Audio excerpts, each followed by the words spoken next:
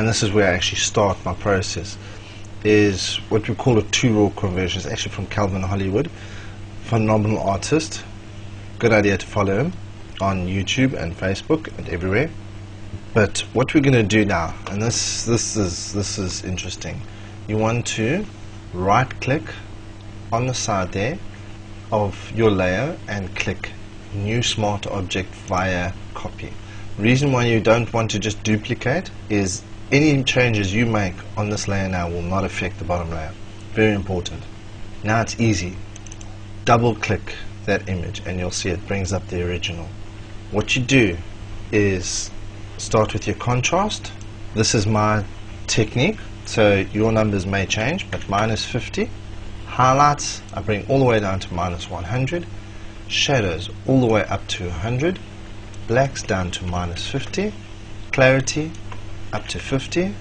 And then I go into my detail tab at the top here. And I actually change my luminance to 80 and my luminance detail to 80 as well.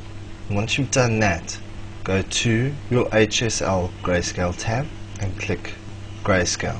Press OK and you'll see it'll change to a black and white contrasted image. Click your blend mode, go down to luminosity, voila, you have immediately altered your image and increased your sharpening in the same process. One more little thing that I do onto this is I add in another filter which is unsharpen mask and leave it at amount 40, radius 40 and press OK. Now with this layer it doesn't increase sharpening, it increases dodge and burn but the two layers together complement each other. So we have a layer that is increasing your sharpness in image and if we zoom in here you'll see this actually is increasing sharpness in your image and removing some noise at the same time and then the smart object that we've added or the smart filter that we've added unsharpen mask actually adds in contrast which then enhances your dodging and burning on your clothes and everything. What I like to do on this as well is add a layer mask and I fill it with 50% black.